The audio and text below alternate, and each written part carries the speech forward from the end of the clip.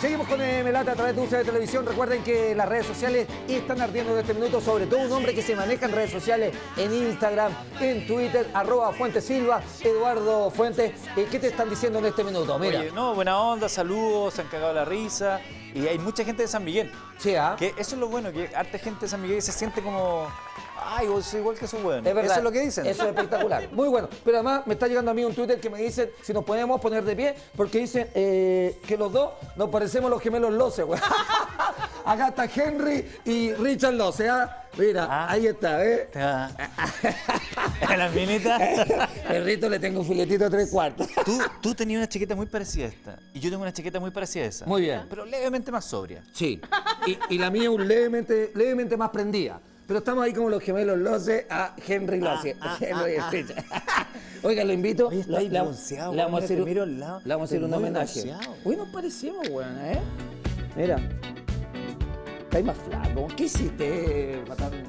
Yo te, te conocí más. Era más gordito, No, te conocí. 12 ¿Cómo, kilos. dice, cómo dicen en el sur? Es más. Más repuesto. Más repuesto. Más repuesto. 12 kilos más.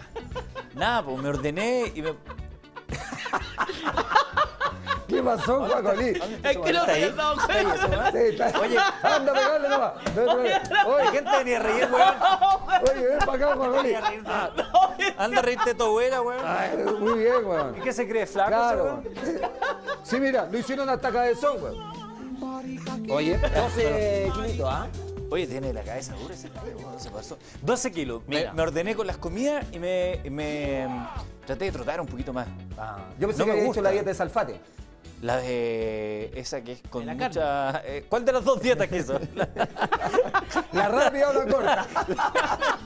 ¿La naturista o la.? Ya, no, no, sean así, no, por no, favor. Hice algo parecido, una dieta parecida. Pero ordenarse, básicamente ordenarse. Y ahora yo de lunes a viernes me, me cuido lo que como, trato de no caer en... Y el fin de semana me hago mierda. Ahí, con No. asados, con todo. Es que a mí me gusta el asado. Yo soy de hacer asado. Sí, ¿te me, gusta me eso? gusta que haya gente hacer el asado. Pero la carne no es tan complicado. El, el- la chupeta es la Pero ¿y más qué le falta para redondear toda esta vida maravillosa que has llevado? Porque además ha sido una carrera súper metódica. Cuando uno de repente habla de carreras meteóricas, en tu caso no ha sido meteórico, y fuiste dando cada paso en la televisión donde te tiene hoy en día. ¿Qué falta para redondear? No solamente en lo profesional, sino que en lo personal. Nos decías que tu máximo ego es estar con tu mujer, con tus perros, con eh, tu campo, en tu casa. Como que está todo perfecto. Yo, eh, bueno, siempre está el tema de ser papá, que es como eh, una, una lucha que es como conocida, pero honestamente yo siento que la vida, si me da la posibilidad de ser papá, bien, si no, seremos de paso y, y todo bien también. Y la adopción está, está como tema, ¿o ¿no? No lo hemos ni siquiera discutido todavía porque es parte de las batallas que hay que ir dando de a una. Ya. Pero son, son momentos y yo siento que la vida, eh, si tú quieres... ten- A ver, te lo, te lo pongo así. La otra vez lo conversaba con alguien, entonces hablábamos de la felicidad, entonces me decía, claro, pero tú ahora ganáis buen billete, es fácil ser feliz así, pues. weón". Digo, es que ¿sabéis qué? Cuando no ganaba buen billete, cuando no tuve ni uno, cuando estaba viviendo en una pieza, eh, que no tenía cama y todo lo demás, era igual de feliz, weón. Era exactamente igual de feliz. La- las cosas materiales te dan confort, pero la felicidad es una sensación más interna, más, más de adentro. Entonces, claro, si la vida me permite ser papá, voy a ser feliz. Si, si no me permite ser papá, seguiré siendo feliz. Tengo un plan de vida, me gustaría retirarme en unos, no sé, 10, 12 años más, eh, no deber un peso a nadie. ¿Y ese plan de vida, salir de la televisión, salir de las comunicaciones, o siempre estás más o menos ligado, o finalmente dedicarte a ser papá, en el caso que seas papá, a tu mujer, retirarte ya a los cuarteles, salir de todo este mundo? O sea, me encantaría poder seguir ligado a los medios de comunicación porque es lo, es lo único que sé hacer y lo que me llena. Pero sin la presión que uno tiene hoy en día a- a- con el rating y ese, y ese tipo de cosas que de verdad eh, a, a ratos te deja así hasta más arriba de la coronilla y te dan ganas de mandar toda la mierda. Pero me gustaría seguir ligado, seguir trabajando en radio, pero algo que hacerlo más porque me gusta que porque lo necesita. Y ahora lo trabajo necesitas, para eso. estás en un proceso que estás, eh, obviamente, ahorrando para tener esa calidad de vida a futuro. Exactamente. Por lo tanto, son 10 años de darle, darle, darle, darle. Es de, es de trabajar. Este un- con mi mujer nos pusimos, un- eh, nos trazamos un- una hoja de ruta, por decirlo de alguna manera, en la vida. De qué, cosas queríamos ir haciendo, para que de aquí en ese momento eran 15 años más, cómo, cómo nos queríamos ver.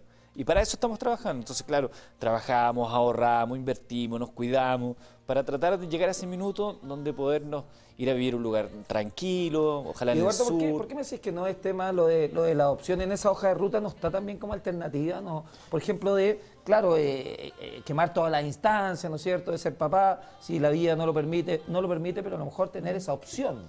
Eh, Es- ¿Se ha conversado con tu mujer? No, no, porque nosotros estamos haciendo, cumpliendo eh, ciertos pasos, intentando ser papá, y la, la opción de adoptar viene más adelante. Entonces, cuando llegue ese momento, tú lo abordas. Antes es como predisponerse que estas otras no te van a resultar.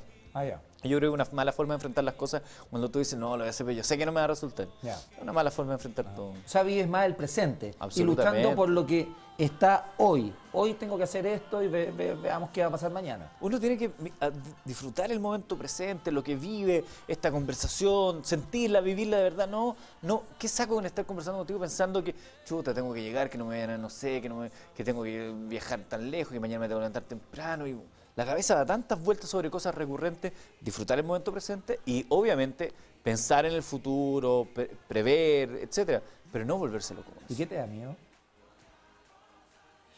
Sí, yo el único miedo que tengo es caer en la cárcel.